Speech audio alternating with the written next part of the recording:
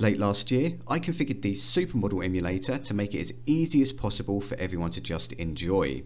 And I pre-configured pretty much everything with this emulator front to back. But as these things generally go, this now needs an update to keep it in line with the new builds of Supermodel, with a few more tweaks, fixes and enhancements. So this gives me the opportunity to redo the guide here to make it a little bit more streamlined and towards the end of the video I'm going to be covering all of the common issues along with their fixes and I want to cover some frequently asked questions. So if you have an issue after you've set everything up you can always just go to that part of the video and hopefully fix it. I even go as far to provide button layout images for all of these games so you're never going to be lost with controls. Now here's a list of just some of the things that have been done and as you can see a lot of hard work has gone into this. But the main ones that everyone's going to be concerned about is the fact that controls have been pre-configured and that this is light gun ready. Now whilst I'm on the subject of light guns, I had previously missed using raw input with Star Wars which allows for light gun usage and that's now been rectified. Also, thanks to updates to Supermodel, we can now use two players with the Lost World using its default analog input system, which is great news because this input system is far more accurate with a way more granular calibration system. So we no longer need to change the input type for this one in the game's XML. Anyway, enough of the pre-ramble, let's just get into the setup guide. You can grab the latest version of the Supermodel emulator from the official website. Now this website hasn't seen a proper update for about 10 years or so and the compatibility list here is somewhat out of date. All games in fact work with minimum issues. And the only thing that is kept up to date with this website is the download section here. So just download the top one and that'll be the most recent version. Now with the Sega Model 3 UI, unfortunately I'm going to have to leave you to find that one yourself. You need Sega Model 3 UI-860 or newer. Once you've downloaded both of those, obviously you want to unzip them. And then from the Sega Model 3 UI folder, you want to transfer across the include folder, the snaps folder, and the Sega Model 3 UI, and move those over to the Supermodel folder. Don't transfer any of these files because they're for older versions of Supermodel. Now, when it comes to ROMs, you can use recent MAME ROMs, but these need to be split or non-merged ROMs make sure that you're not using merged ROMs because Supermodel will just launch any random version that it finds in the zip file. So you can use as old as 0.236 and I've made sure everything is backwards compatible to that point. However, Magical Truck Adventure had a new dump which fixed the attract mode and that was updated in 0.249 and Ocean Hunter had an updated version found and that was updated or is going to be updated as of recording in 0.253. This is the set that you need to use with this configuration and it's essentially one game one ROM with parents taking priority. Now GetBass UR is the clone of BassDX so we've got two versions of Sega Bass Fishing but we only want to play the GetBass UR version because it's the upright version and that was the one that was ported over to the Dreamcast because it's more controller friendly. So if you're using split ROMs, you'll need the BassDX ROM to be able to play the GetBass UR version. So I'm going to put the link for this Launchbox page in the description below and whilst we're here we're going to grab the configuration files to make all of this work. And all I'm doing here is providing configuration files for Supermodel. So if we scroll all the way up to the top of this page and look top right, we've got download this file. Click on that and at the top here you've got my button layout images so you can download those if you want and you definitely want to grab the NVRAM zip so make sure you download that. Now depending on which controller you have you may need to download the X input ini or the D input ini. So you want to find out what input type your controller is and then download the appropriate ini file. If you have a choice between X input and D input controllers, always go with X input. Now I've made the D input configuration with a PlayStation 4 controller. However, D input controllers can vary with their input IDs, so your mileage may vary with D input if you're not using a PlayStation controller. X input users don't need to worry about this at all because input IDs are identical between controllers. Once you have the NVRAM folder and the ini file for your input type, you need to put them in the following places. So just open up the NVRAM zip folder here, there's no need to unzip it. Select all of the files in here and move them over to the NVRAM folder in Supermodel. There we go. So now we're just going to close this and we're going to open up the zip file for the ini file and again no need to unzip it and we're just going to move that into the config folder and we're going to replace the one that's already there. There we go. And simply doing that configures everything, skipping hours and hours of setup.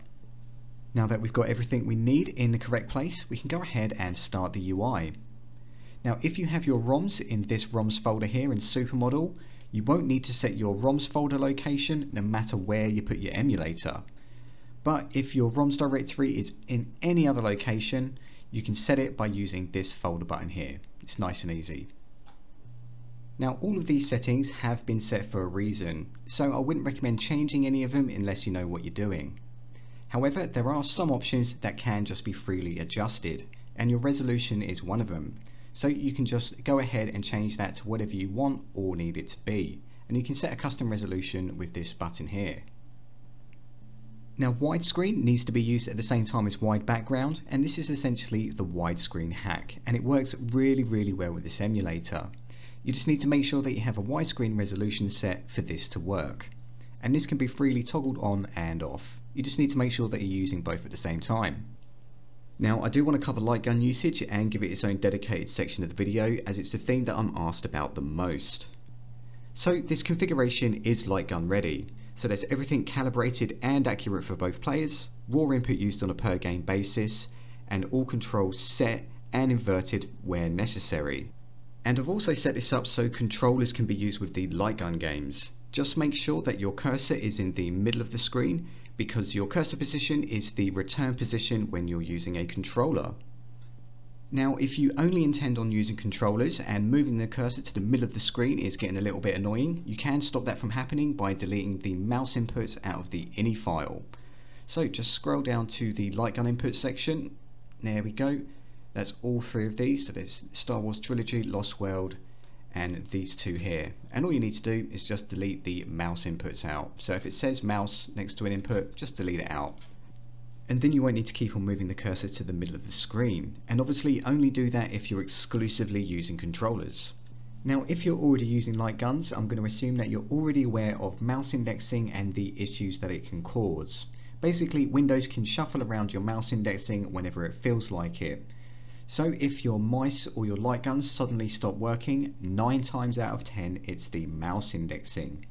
And I do have a dedicated video on how to identify and change your mouse indexing using just Supermodel. So if they stop working for any reason, follow along with that video and I'll pop that in the description below and I'll put a card up above now. Now with LA Machine Guns, The Ocean Hunter and Star Wars, they should all remain accurate no matter the resolution or aspect ratio that you're using, and I do say that very loosely. However, with the Lost World, its accuracy is essentially locked to the aspect ratio that you calibrated it at.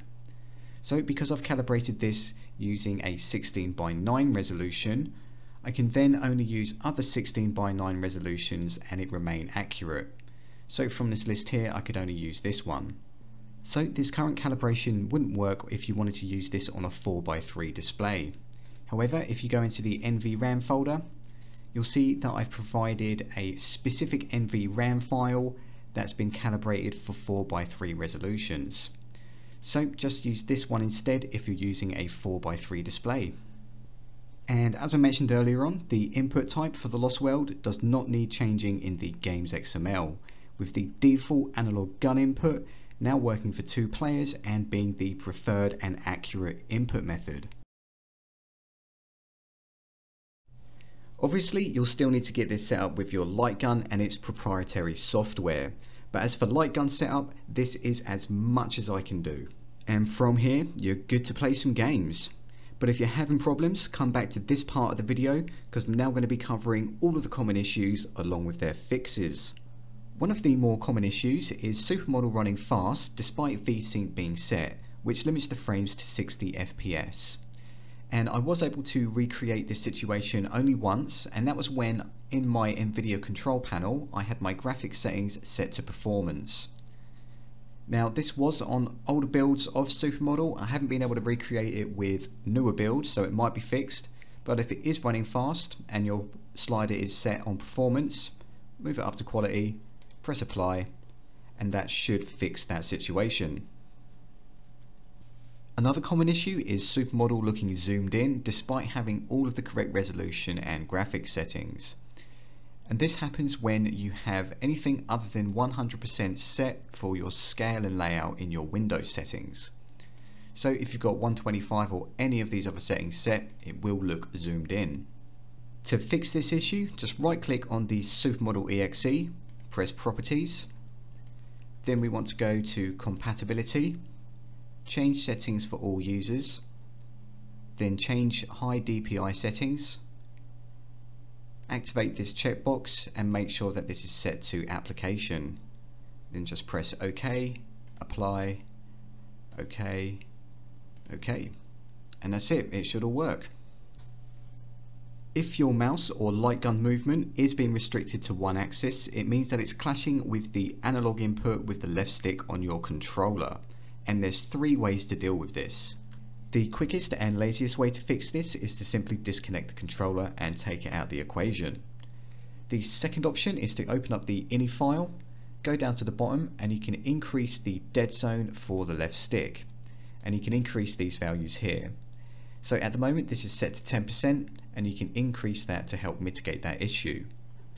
And the third option that you have available is to simply delete the controller inputs from the light gun games. So let's find the light gun games. There we go. So if you find a Joy 1 or Joy 2 input, you can just delete it out of there. And if you're only using light guns, I actually recommend that you do this, just so you're never going to have issues with clashing inputs with controllers. This one isn't necessarily an issue, but it is something I get asked about all the time, and that's how to change view in Ski Champ.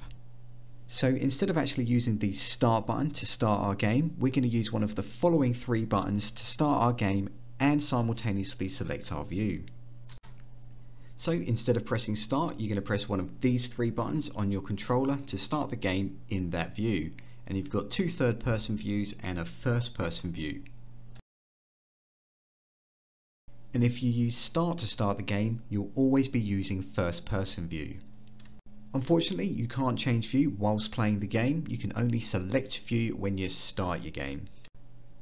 Now over on that Launchbox forum page, you'll find a full write-up and more information on exactly what I've done. But if we go towards the bottom of the page, you'll find a per game breakdown. And I've provided some general information here, including any cheats. So give that a good read through to make sure that you're not missing out on any content. There we go, that's how to get Supermodel set up and configured without having to spend hours doing it yourself. So if I managed to save you some time, slam me a thumbs up, and if you want to keep up to date, you know what to do. And apart from that, go play some games. Adios.